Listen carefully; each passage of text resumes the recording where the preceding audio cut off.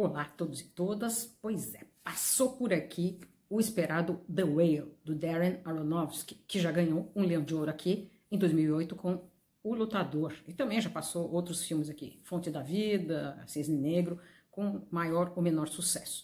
Bom, mas a grande surpresa do filme é a interpretação do Brandon Fraser, interpretando um obeso mórbido, um homem de mais de 200 quilos, o que obrigou o ator a fazer uma transformação física enorme. Ele engordou bastante e, além de tudo, tem um recurso umas próteses que tornam a, a, esse corpo dele totalmente crível, né? E é realmente impressionante e tem tudo a ver com a interpretação. Ele interpreta o Charlie, que é um professor de literatura que não sai de casa. Ele se tornou obeso assim por conta de uma tragédia. O companheiro dele morreu tragicamente alguns anos e ele começou a engordar loucamente nesse desespero.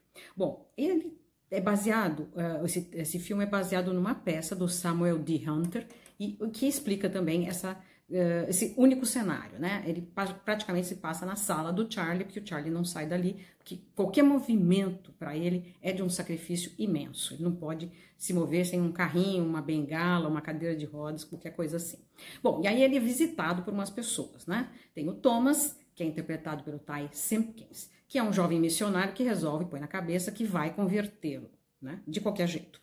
Tem a Liz, que é uma enfermeira, que é amiga dele, que é interpretada pela Hong Chao, que vem cuidar dele, faz compras para ele, ele também, e ao mesmo tempo dá umas broncas para ele sair dessa apatia. Aí aparece, de repente, a Ellie, que é interpretada pela Sadie Sink, que é a filha dele adolescente, que há muitos anos ele abandonou e que vem com uma raiva, uma agressividade gigantesca. E os dois, a tensão entre a passividade e a culpa dele e a raiva dela é um dos grandes motores do filme. Fora isso, ainda tem uma participação pequena da Mary, que é interpretada pela Samantha Morton, que é a ex-mulher dele. Então, o filme basicamente é essa tensão nessas, nessa vida dele, tem uma pulsão também de morte, né? Porque a gente sabe que vivendo desse jeito, o Charlie não vai poder ir muito longe. E claro que a baleia tem uma referência também ao, à literatura, ao Moby Dick, do Herman Melville, que faz parte do, do texto, né? É, é, um filme, eu acho que tem um tom dramático muito pesado. Para mim, o dramalhão ali exacerbou, mas isso é o estilo do Aronofsky. E eu não gosto muito disso, desse tom, eu acho que foi bastante exagerado.